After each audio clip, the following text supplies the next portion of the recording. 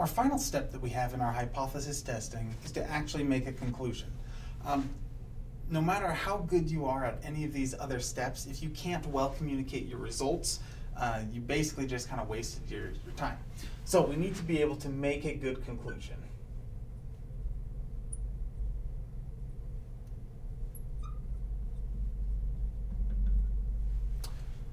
So back to step nine, we either are rejecting or we are failing to reject the null hypothesis. If we have failed to reject the null hypothesis, let's start off with that one. So we'll say that p-value was greater than alpha. So if that happens, here is what we could then write. We could then say that we collected insufficient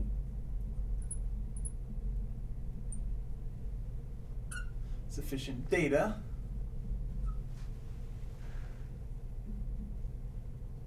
at the alpha level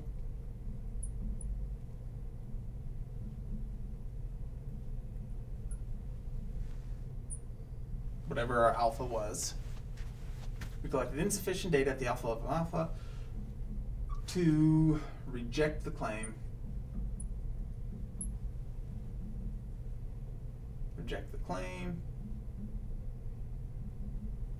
of whatever our null hypothesis was. So we just we collected insufficient evidence to reject the claim. And this is the same thing as saying that we basically we failed to reject the null hypothesis. There are some other ways that we can rewrite this, and we also need to like include our test statistic and uh, and our p-value, basically the APA format, uh, so that we have it in our conclusion. But if essentially this is where we're at, if we fail to reject the null hypothesis, then that's all that we have to do.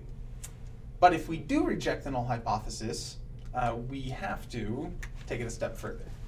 All right, so here we go. We'll say that down here that our p-value was less than alpha. If that happens, we can almost write this exact same thing, but add some more stuff on. We can say that we collected sufficient evidence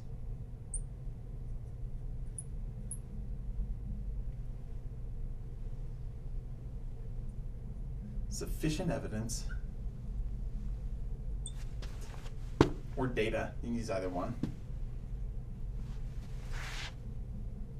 At the alpha level, we'll say of alpha, to reject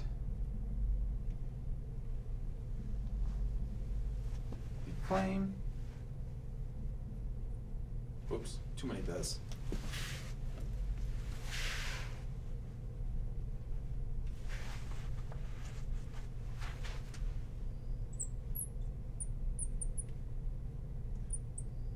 That the I'll put a whatever null hypothesis and instead conclude well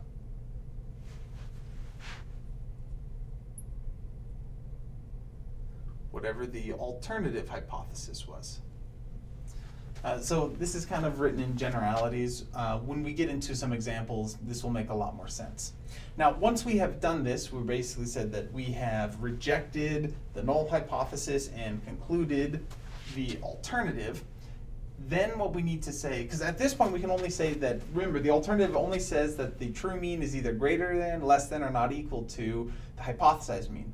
And the next question is always, is then, well, where do you think it is? And when that happens, then we also need to include confidence interval statement.